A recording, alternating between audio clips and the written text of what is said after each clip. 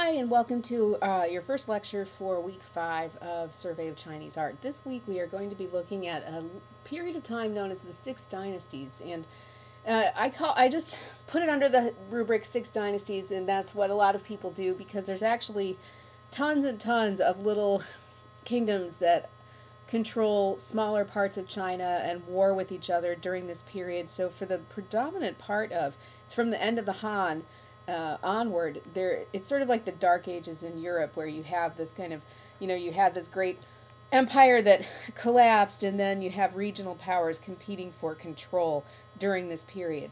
So for most of the six dynasties, that's what's going on politically. We're going to look at the reemergence of a stable and fairly geographically widespread kingdom uh, later on in the so-called six dynasties period. It's a a smaller region than the entire geography of China, but it's a dynasty known as the Northern Wei, and uh, the Northern Wei, W E I. And in the Northern Wei, one of the things that happens is we see the kind of crystallization of Buddhism becoming not just something that's brought in from the Silk Roads, but like a, a really major cultural force in that part of China. And what we'll look at today is the first manifestations of that in Chinese art, which really is in these giant rock cut temples that we'll see uh, today. So let's see. And what, what I have to say generally about the Six Dynasties period is that, as I was saying, it's a period of a lot of disunity and strife and conflict between different um, different regional kingdoms that is goes on for a good period of time, a couple hundred years. And in the next slide, we'll actually show you the list of dynasties. Uh, the other thing that characterizes this period is the introduction of Buddhism from the West on the Silk Roads.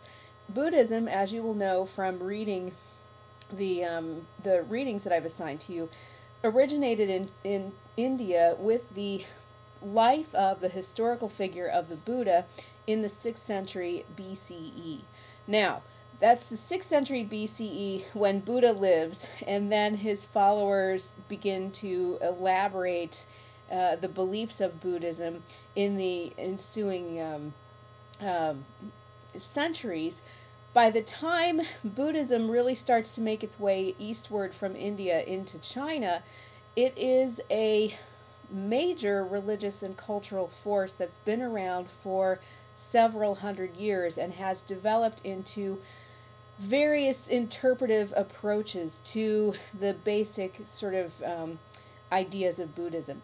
It is a complex set of, or it's a complex religion, much the way that you have in Christianity different interpretations, you know, different emphases that are placed on different parts of the scripture and different parts of the life of Jesus um, and different parts of the sort of tradition that's accreted around the original figure, historical figure of Jesus.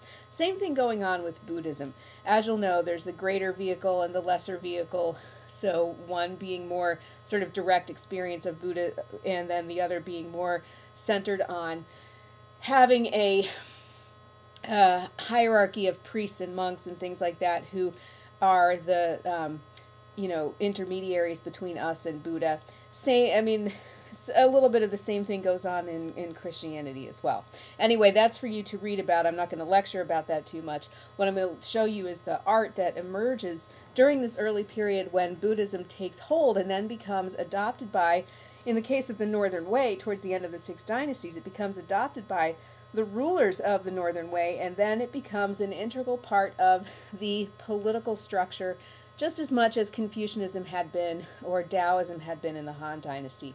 And now those earlier teachings do not go away, by the way. So we will continue to see Buddhism, Taoism, and Confucianism, filial piety, um, oftentimes in the same monuments even, but right now today we're going to look at Buddhism. So this week, here's a map of what we're doing the next couple of weeks. The Six Dynasties period, particularly the late Six Dynasties period, is just as, as the Northern Wei unifies things, this period of incredible imperial patronage of the arts and an incredible kind of rebirth of all sorts of, uh, or, or birth of all sorts of painting and calligraphy and things like that. So it's a really fertile period that lays the groundwork for what will happen with the golden age of China in the Tang Dynasty and the Sung Dynasty.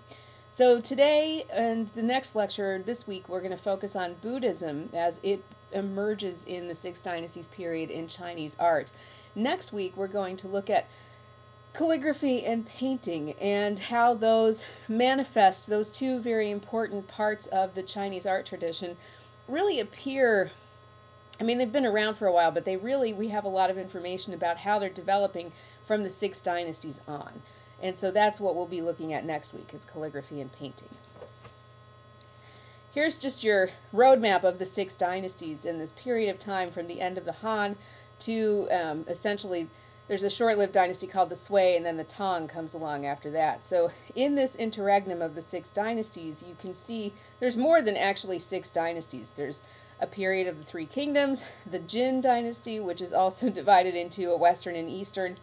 Uh, uh, and again, those names really come from where the capital is. During that particular reign, uh, and the western Jin further divided into 16 kingdoms, right? And then the southern and northern dynasties it's the southern and northern dynasties period where things start to slow down and where the northern Wei emerges. The northern Wei was around from the you know, from the late 3rd century on, but they really take control of a large amount of territory in 489, and so they become a, a predominant power then.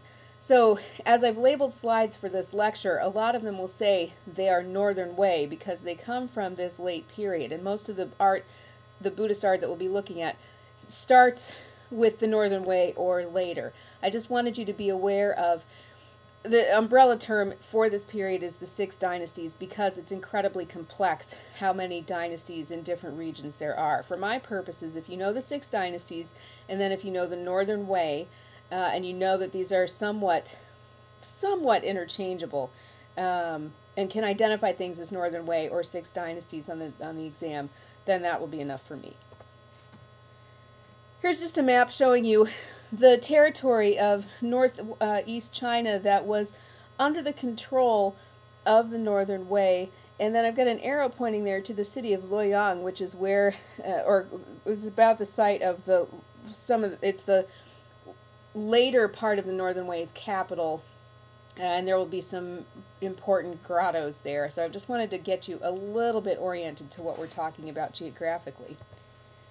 Here is a rudimentary map of the Silk Roads of trade across um, across the Middle East and um, India and into China. So this is the I, I borrowed this map off the web, and it's uh, the Silk Roads are actually skewed a little bit farther north than they should be. But I just wanted to show you. There I've got an arrow pointing to Luoyang, which is that capital city that I was showing you of the Northern Wei. The other place that we're going to look at is farther west on the Silk Road, a place called Dunhuang, which is filled with all kinds of interesting Buddhist art. Um, but this is the trade route that develops between China and the silk industry of China and the West. Um, China trades with India, which trades with the Middle East, which trades with Rome, which trades with Europe. Um, and after the fall of the Roman Empire, I mean, trades with Europe. So the Silk Roads exist across this massive part of the world for several centuries, and people go back and forth across this part of the world trading goods between China and the West and stops in between. And even, you know, some of the places that are in the news a lot right now, like in Afghanistan, Kandahar, uh, and parts of uh, Iraq, were cities that developed along the Silk Roads, you know, they developed as trading posts along the uh, Silk Roads. And it's that route that not only brings goods from one place to another, but also people, ideas, religious beliefs, art, habits of thinking, and things like that. So it's really because of the Silk Road trade that we get the, the introduction of Buddhism farther and farther east into, into China proper. And here I'm just showing you a site, or just sort of so you can see there. Um, if you drew dots between Kashgar, Turfan, Dunhuang, Datong, um, Luoyang, you'd have, or and Xi'an, you'd have parts of the Silk Road mapped out here. So I've got in red dots there the two sites of the caves that we're going to look at that have Buddhist statues in them. Yungang is the earlier one from the earlier part of the Northern Wei, and Longmen is uh, later on. So here, again, along the Silk Roads at this early site of the capital of the Northern Wei, we have the emergence of caves and grottos dedicated to the worship of Buddha and dedicated to the practice of Buddhism.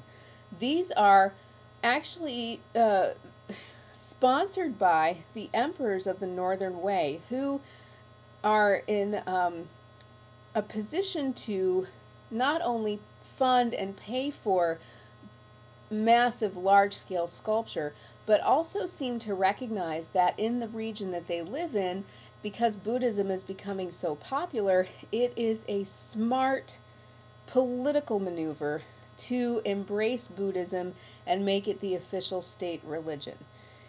So, um, not to say that the emperors of the Northern Wei didn't believe in Buddhism or that they were just cynical, but these things actually, for most of human history, tend to go hand in hand. Religion and politics.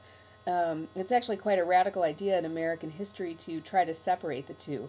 Um, and at this point, religion and politics are not really separate. So we're going to talk a little bit there are caves, there, you can see there in this slide, there are caves all along this cliff face at Yungang where there are basically versions of the or you know statues of the Buddha and his attendant bodhisattvas and things like that that people paid for and had put up here to help to kind of um, um, first of all showcase their own piety to also kind of get in good with the emperors of the northern Wei and also, of course, to practice their beliefs.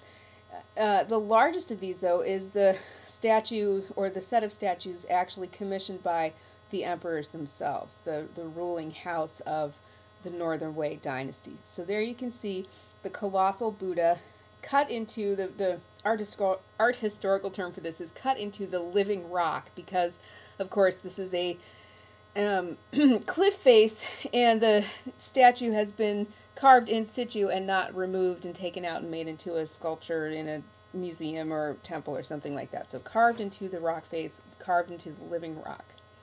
There's another view of some of the side grottos at Yungang, so you can see the scale of this project, not only of the smaller caves, but then it gives you a little bit of a sense of how massive the Yungang construction is itself. It's something like, I think it's about 14 meters, which means what? 42 feet tall, roughly. And there you can see in this view, um, they're man-made caves carved into the side of this uh, cliff face, and then inside the there are many, many different Buddhas. And this actually kind of goes along with one of the motifs of Buddhist art is this whole idea, and of Buddhism itself, is in some versions of Buddhism, there's a belief in multiple Buddhas, and Buddhas that have different aspect of the historical Buddhahood, uh, or of the historical Buddha. So there's the historical figure of the Buddha known as Shakyamuni, who was the prince who left his home, went out in the world, realized that there was suffering, wanted to do something to um, cope with that fact, and then came up with the whole idea of the path towards nirvana, the Eightfold Path. And again, you will have read about this in your readings, so I'm not going to go into too much detail about that. But here, uh, it, it, over time, there developed lots of schools of thought about Buddha that, you know, that he had different manifestations, um, different aspects of the Buddha that were celebrated or worshipped by different um, approaches to Buddhism, and that's kind of what's being represented here in this kind of thousand Buddhas uh, in the thousand caves. Okay, so here is the main cave at Yungang. This is the one that was sponsored under imperial patronage, dating to the later part of the 5th century, um, probably 450-ish, 450 or so BC, or yeah, common, common era, excuse me, not BCE. So you've got to think about this. If Buddha lived in the 6th century BCE and now we're talking about the 5th century CE, that's almost a thousand years after the Buddha actually lived. So Buddhism had, by this point, become quite complex. It has migrated out of India across the Silk Roads, and um, over time, and over time and over geography, different aspects of Buddhism become prominent in different parts of the world and in different religious practices of Buddhism. On top of that, what you've got here with this 42 foot tall, massive colossal statue of the Buddha is the first surviving attempt on the part of Chinese sculptors to render a colossal figure in stone. We don't have any surviving monumental stone sculpture from before the 5th century of the Common Era. There are some historical records that suggest there may have been a couple of colossal Buddhas in the, the 4th century, BC or CE, but they are no longer extant. So this is the earliest surviving example we have of monumental stone carving. It has often been commented on by scholars that it seems obvious that these sculptors are not either used to carving such monumental figures or the, and or that they are looking at a variety of non-monumental sources that they're copying. One obvious source, and one that we have lots of evidence for because there are surviving examples like in the caves at Dunhuang farther west on the Silk Road, are um, paintings and woodblock prints that printing was already extant in China at this time, which is one of the ways in which Buddhism and the texts of Buddhism were distributed to the population. Um, but it seems clear that, and if you look at this Buddha, I think you can see really stylistically what, what the scholars are talking about, that there is such a heavy emphasis on line in the carving of the folds of the Buddha's drapery. If you and that little figure on his left, on our right, is a bodhisattva. That is a kind of enlightened being who, instead of going on to nirvana, has stuck around on earth to help the rest of us become enlightened too uh, kind of handmaiden to um, enlightenment for the Buddha. So a little bit like a saint in the West. So here, um, I think you can see it's clear that, or it seems clear that, and then with the patterned kind of linear background that you have behind the Buddha, that probably the source for this is a painting or a print, a two-dimensional linear form rather than a three-dimensional form seems to be the basis for this sculpture. And that would make sense considering that you can't port these mo monumental colossal sculptures from place to place, right? And that we know that there were texts and images coming across the Silk Road all the time. Uh, another thing th that you should know, or another way that scholars have looked at this and said, oh, well, it's clear that they haven't done much monumental carving before, is that you can see that the, the Buddha figure and the Bodhisattva both really retain a kind of block-like shape. You know, there is an, I mean, they're, they're made into these volumetric forms instead of two-dimensional forms, but they're pretty awkward, pretty chunky, not particularly anatomically accurate. You know, I think if you tried to present this in a figure sculpting class at St. Francis, you might get, you know, some guff for having those massive wide shoulders and those hugely thick arms and then that kind of weirdly attenuated chest. Uh, but here again, part of what's going on is that this is an early attempt uh, by sculptors in a region which really has no tradition of monumental sculpture to create a monumental sculpture.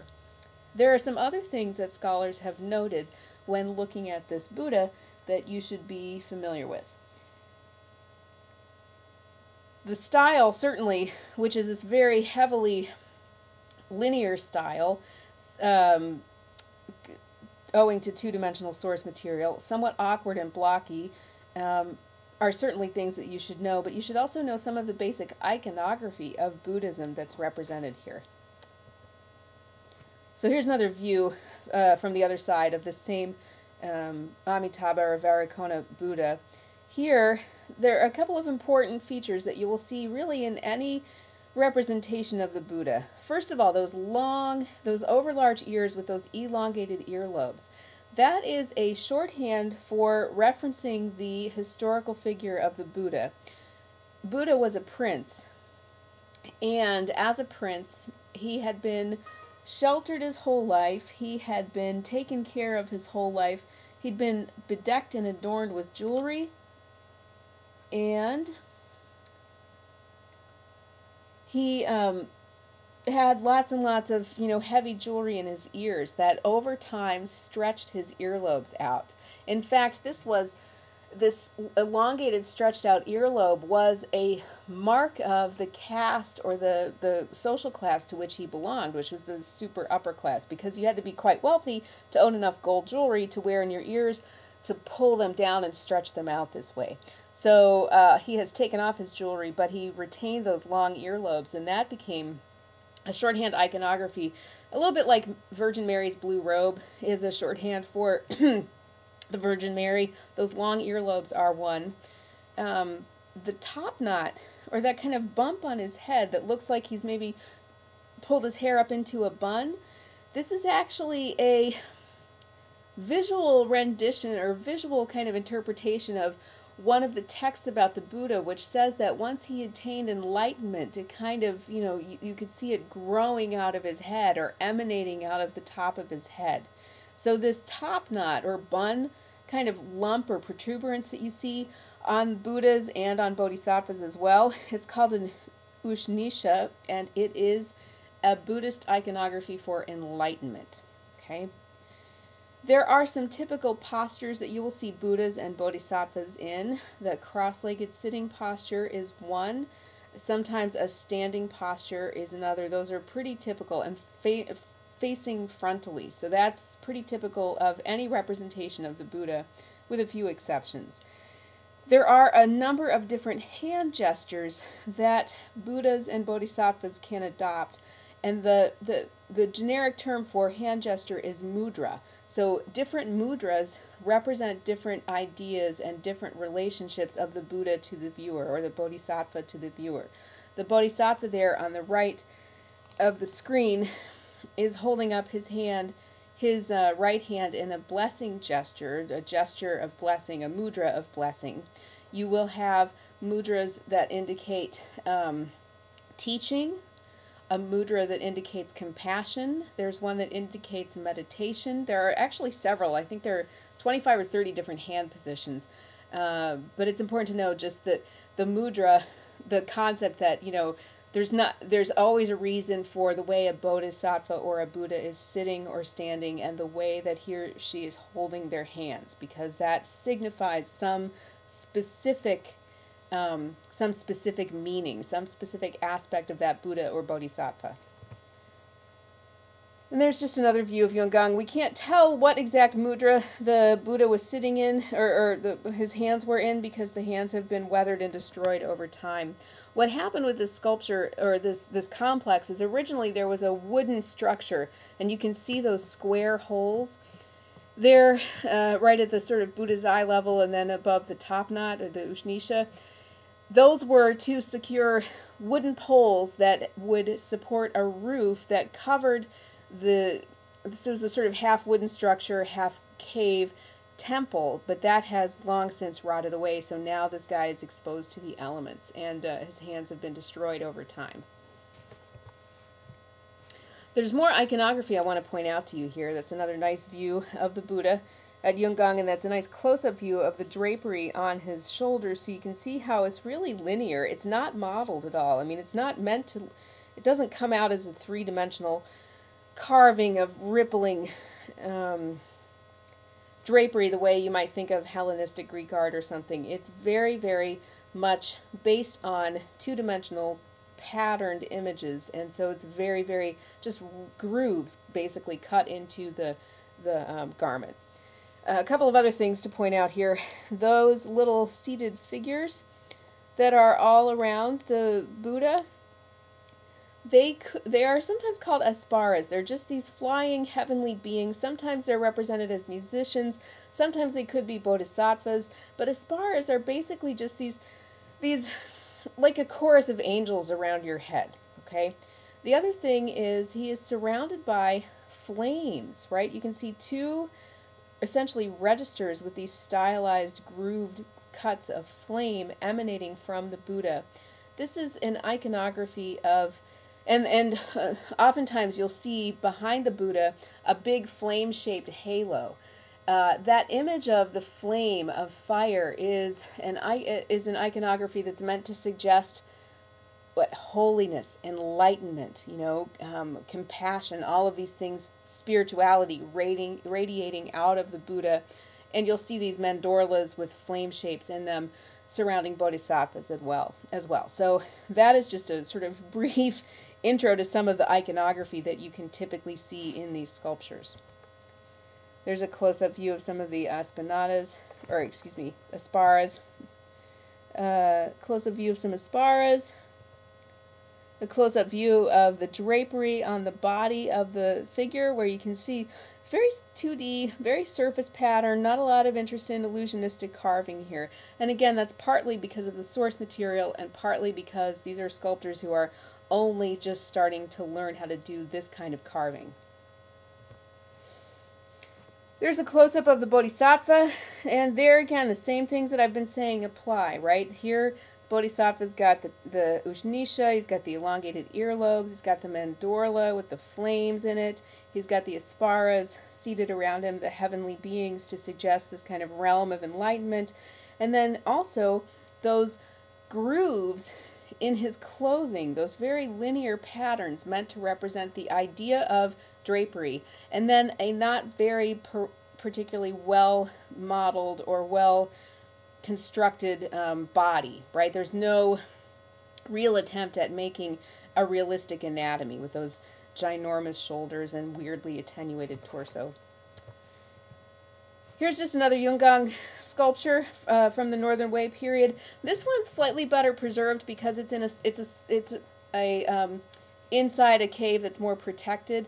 The statues we were just looking at originally would have been painted the way that this sculpture retains some of the, its original paint. So here you can see uh, the carved flame mandorla, the asparas around the Buddha, and then the bodhisattvas in those little niches, all painted to be very colorful and very dramatic.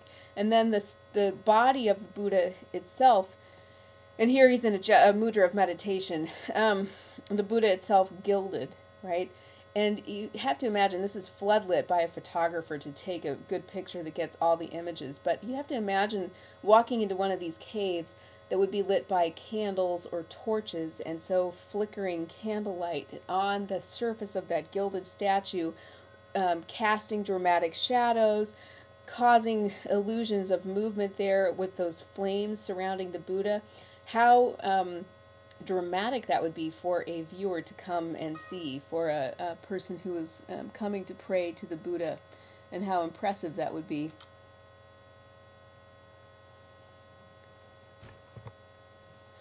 We know that the one of the ways that Buddhism came into China and um, spread, especially during the Northern Wei, was through texts that were imported, but also uh, one of the other sources or possible sources for um, sculptures of large scale pieces was this proliferation that we see in the Northern Wei of small altar pieces, the kind of thing that could be manufactured elsewhere and brought into China, and then some of these are actually probably made by Chinese artisans themselves.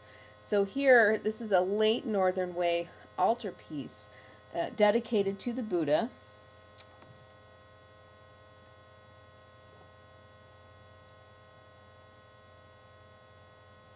This is the Maitreya Buddha, the Buddha of the future, the Buddha who is going to ascend to heaven at the end of time. Uh, the Maitreya Buddha who becomes a very, very popular figure during this time. And as you can see, some of the things we've already seen are um, going on here. We have bodhisattvas on either side of the Buddha with little flame halos uh, accompanying them. There's a giant flame halo be behind the Maitreya, Maitreya Buddha and then flame halos emanating from that main flame halo or mandorla. You also have other um, bodhisattvas sitting at their feet, and then down at the bottom you have some some probably meant to be contemporary figures of people from the Northern Wei coming to bring offerings to the Buddha. This altarpiece would have been the kind of thing used for private devotional purposes. It's a small scale version of those massive public works projects that the Northern Wei emperors instituted with those giant colossal Buddhas. And the um, other sponsored caves that were created at Yungang during this time. You can just barely see it in this image, but this is also, I mean, you can see the you can see the same kind of linear patterning on the Buddha um, drapery. You can see the same um, um, set of iconography. You can just barely tell he's got the top knot or the Ushnisha. He's got the long earlobes. He's got the attendant heavenly beings, the mandorla. All of these things are the iconography and the style that is kind of developing and crystallizing during this time of the Northern Wei. Here's another example of the uh, Northern Wei of a private devotional image of the Buddha. So here again, you should be able to recognize some of the basic iconographies, the mudra. Um, this is a uh, mudra. There are two mudras. One is the um, the right his right hand that's on our left that's kind of raised in this "Hey, how you doing?" gesture. That's actually meant to be the gesture of or the mudra of reassurance. And his left hand, which is on our right, the outstretched hand, is uh, meant to be bestowing. Okay? Uh, so, in other words, reassurance and giving. Okay, two of the features of the Buddha. And of course, we also have the Ushnisha, the long earlobes. We've also got the kind of patterning, the linearity that you would expect to see on the robe. Um, here, though, it's interesting. This is a, a sculpture where it looks like the sculptor is trying to start figuring out how to represent the idea of a body underneath drapery. So you've got those curvy hips and then um, and the sort of elongated torso. I mean, all these early sculptures tend to be attenuated and linear, uh, but you see the hint of sculptor thinking about how to carve a body or how to make a body. One other thing that's a part of Buddhist iconography that is also part of the developing of Buddhism in China is this is a Buddha standing on top of a lotus. It may not look like a lotus flower to you, but it's meant to be a stylized lotus flower. The lotus becomes a really important symbol of Buddhism because it is a flower that emerges from the swamp and blooms out of the muck and filth of the swamp, it blooms into a pure white flower. Okay, so it becomes a symbol for the way that the Buddha transcended the suffering and um, um, terribleness of this world and achieved enlightenment. And so, there, standing on a lotus is a very, very popular way to represent the Buddha. Here's another Northern Wei image, and I hope by now you can recognize there's the mudra of um, reassurance and blessing. There are two attendant bodhisattvas on either side of the Buddha. There's a flame mandorla that's populated by heavenly figures. It's hard to see in this slide, but that's um, what's going on here.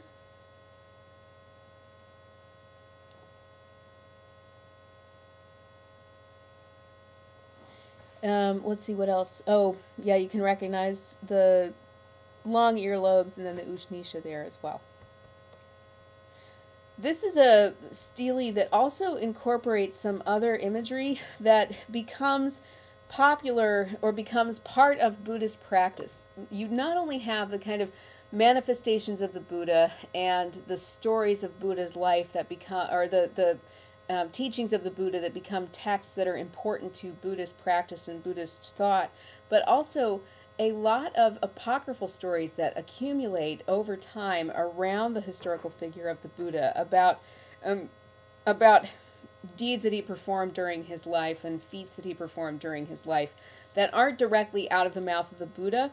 They're kind of later traditions, but are meant to, as stories or as fables almost, to try to help you to understand the nature of Buddhahood so that you can attain enlightenment yourself. And those are some of the stories that are being told on the back of the stele here.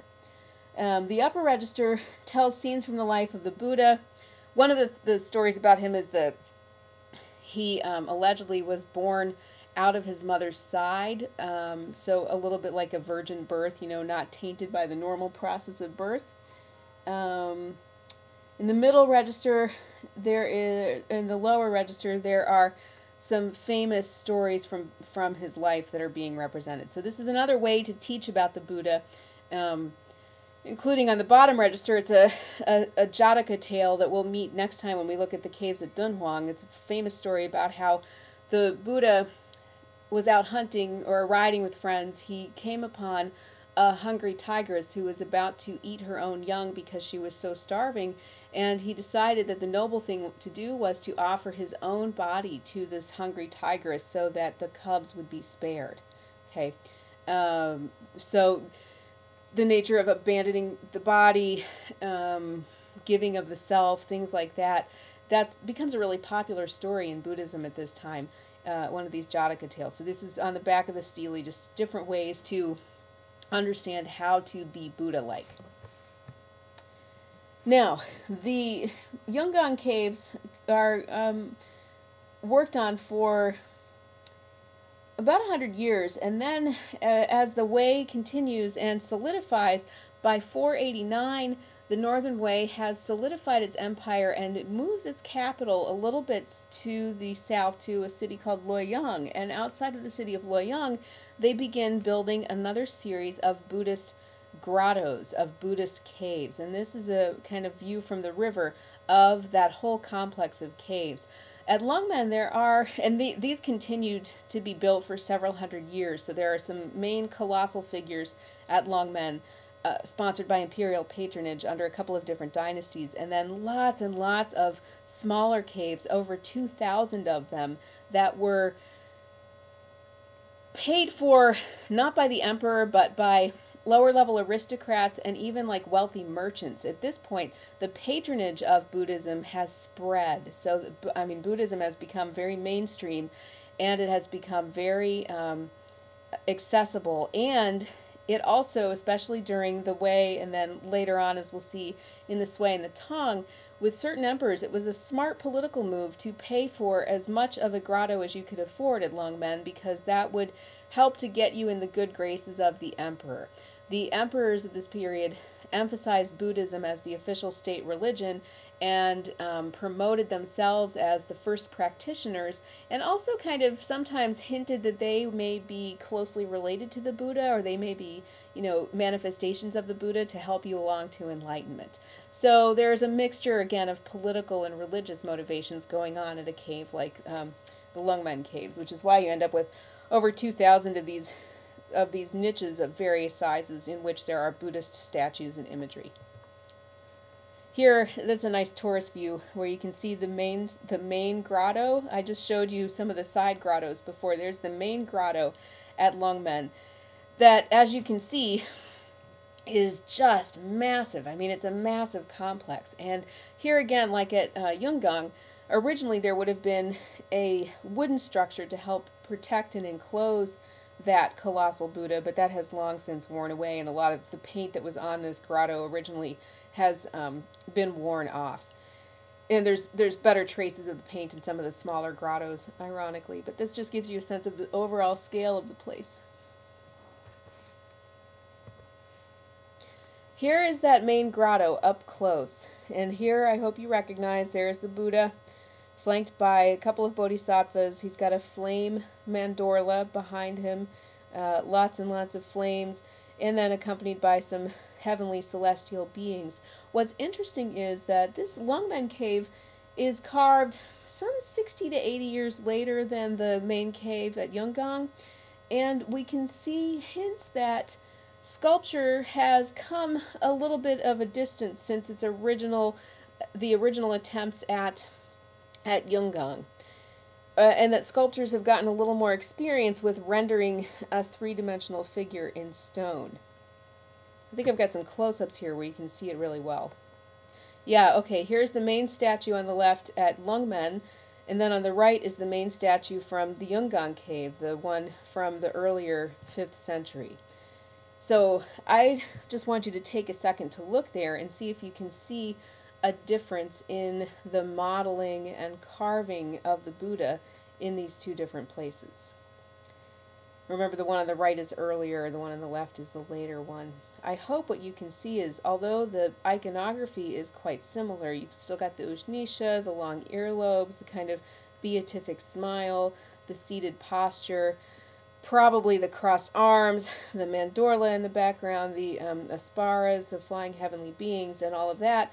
What's changed is the style, right? This is a much better execution of the shoulders and torso of a figure that is realistic, right? Now, that's not to say that that was necessarily the goal of these folks, you know, because the Buddha is more than just a realistic image. I mean, the Buddha is meant to be this figure of meditation. In the case of the Longmen Caves, he's probably also meant to be really, really massively impressive to all the um, subjects of the Northern Wei who would come here to, to um, practice worship in different shrines. Um, but also that I mean, so that's not to say that you know that's really foremost on their minds, but you can tell there has been more experience at handling three-dimensional objects, even though you've still got a kind of linear pattern to suggest the folds of drapery on the Buddha's chest. It's a more um, well-executed upper torso. There, another thing I think is interesting is you can see there are myriad bodhisattvas, some bigger than others, uh, surrounding this Buddha, and the some of them are scary looking, you know, and some of them are nice looking. This is a feature of the Bodhisattva that the various Bodhisattvas take on different aspects of Buddhism or of enlightenment or of Buddhahood that they present to the um, striving person who wants to become enlightened. One of the things I like is that you can see that there are um, suggestions of movement in those figures, particularly the ones on the very right of the screen, and suggestions of weight shift or contrapposto, not true contrapposto, but at least like indications of the idea of movement in space and turning in space, um, which again comes from continuing to have a tradition of monumental sculpture and sculpture in general that means that there's an accumulated knowledge base of how to deal with the figure over time. And there you can see the top knot and the uh, long earlobes and the mandorla. And there's what I'm talking about. These are two bodhisattvas that are to the left of the Buddha, to our right. And there you can see they're much more carved out into space and they have a sense of liveliness and animation and three dimensionality that simply was not present in those earlier sculptures at Yungang. Another thing that we see at Longmen is really concerted and almost blatant um, expressions of the political nature of the use of Buddhism at this time. Here is a relief from a wall panel at Longmen that was originally on one of the side walls of that main cave and since has been removed and then is put into a museum. But it literally shows the empress or the emperor and his court, uh, this late Northern Wei emperor, in the process of worshiping the Buddha. Okay, the way that this was positioned originally in the Yungang or the Longmen grottos, it was like there was a constant, permanent stone processional of um, the court and the emperor marching towards the Buddha to pay their respects, showing the Buddha or showing the emperor as always being pious and always behaving rightly towards um, the emperor. And also, we'll visit this picture again, or this relief again, because this also is one of our sources for what figural painting and figural depictions in two dimensions probably looked like around this time. And here's just more donors. You could get, there were pictures of the um, emperor and empress at this, and actually several different emperors and empresses had these kinds of reliefs carved into the grottos so that it would show them constantly processing for all eternity to pay, you know, respects to the Buddha. Here, other donors at Longmen also would have these kinds of processions carved in. So this became an important part of the decoration or the iconography of these Buddhist caves at, at Longmen, not so much at Yungang, the earlier site, but here becomes really important to show the people of this world paying their respects and paying homage to the Buddha. One other thing I just want to note is that it's almost a piece of trivia, but you can see that floral decoration running in a band across the top of this relief. And that actually seems to be, and there's a lot of that, these floral bands of decoration around the outside of pictures or around the perimeter of a, a cave entrance. Um, that seems to be taken from Indian art, directly out of Indian art. So it's one of these kinds of hybrid things, you know, as you're, you're bringing in um, traditions from outside your region of pictorial representation and melding them with the pictorial uh, practices of your own region. So it's a kind of interesting hybrid that's going on here. And again, we'll probably see this image again when we look at painting because these are so two-dimensional and linear, they seem to have some sort of two-dimensional source. And then on this page, I will uh, let you pause this so you can write down any um, vocabulary words that you might have missed. Sinification, I'm sorry I didn't talk about that in this lecture. That's just a fancy word meaning to make things more Chinese. And that's kind of the process that's going on here, is a process of bringing Buddhism into China, adopting it, and adapting it both artistically and in its, um, in its spiritual aspects to a kind of Chinese way of thinking. And that's a process that we'll continue to be talking about. I will see you next time when we'll look at the caves at Dunhuang.